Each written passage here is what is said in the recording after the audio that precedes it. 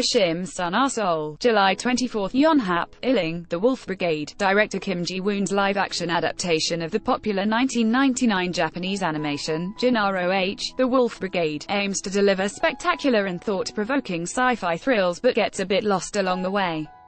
The Korean film relocates the setting from 60s post-World War II Japan to South Korea in 2029. With war clouds hanging between China and Japan over a territorial dispute, South and North Korea decide to launch a unified government for their survival. However, the continuing economic sanctions by powerful nations led to economic instability in South Korea, which leads to the emergence of a terrorist sect opposing the reunification.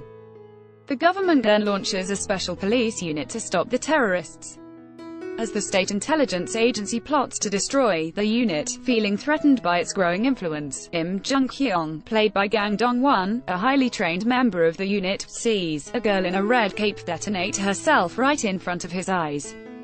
Jung-hyung visits the girl's her older sister, Lee Yoon-hee, played by Han Hyo-ju, to give her the girl in the red cape's belongings. After the encounter, he is torn between his mission that forces him to be a beast and his feelings toward her. After the press screening of the film Friday, director Kim Jee-woon said he wanted to tell a story of an individual who becomes determined to flee an organization that forces inhumane actions to find his true self.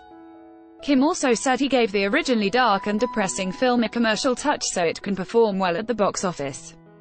Sure, the result is a stylish action thriller with dazzling scenes of gun battles involving men in iron suits and masks, car chases and a high-rise building action scene backed by its star cast that also includes Jung Woo-sung and Choi Min-ho from popular K-pop boy band SHINee.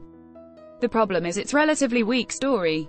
This lack of connection and overall jarring storytelling robs Illang of any suspense.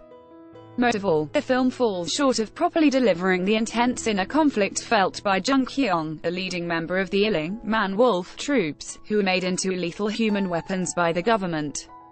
Illang had an admirably ambitious idea of what kind of movie it wanted to be. Unfortunately, it spent so much time trying to recreate the world from the animated movie and remakes it into a big-scale action blockbuster that it never got the simple things right. The romance between Jung Hyung and Yoon Hee is not captivating because the characters and their relationship are not given depth.